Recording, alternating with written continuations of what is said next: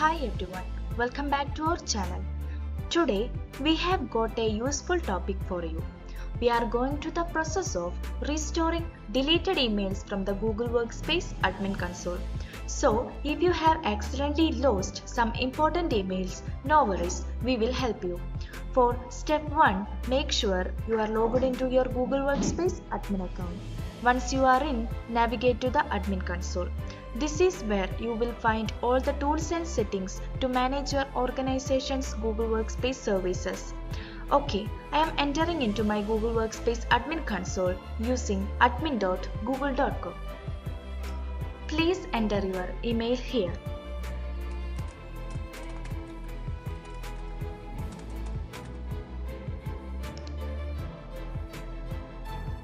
Enter your password.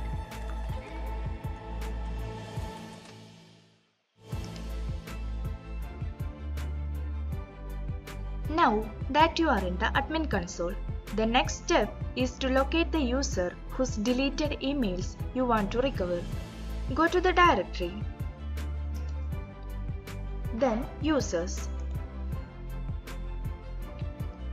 Find the specific user's account.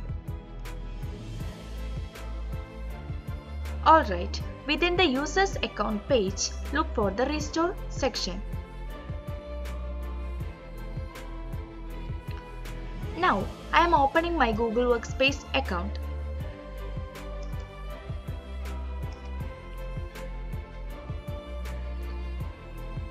I am deleting the emails from inbox.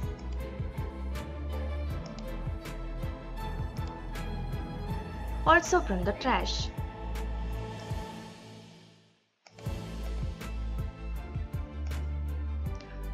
Now it is deleted permanently.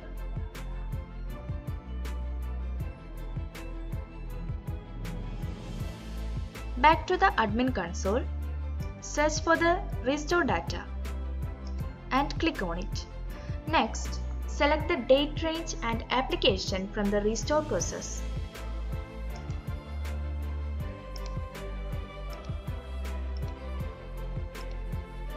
You can select Gmail. You can retrieve data in 15 days after deletion. Finally, click on the restore button the selected emails will be restored to the user's inbox. Please go to your Google Workspace account and restart.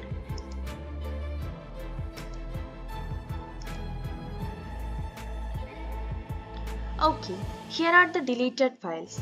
And just like that, you have successfully restored deleted emails using the Google Workspace admin console. So don't let those deleted emails stress you out anymore.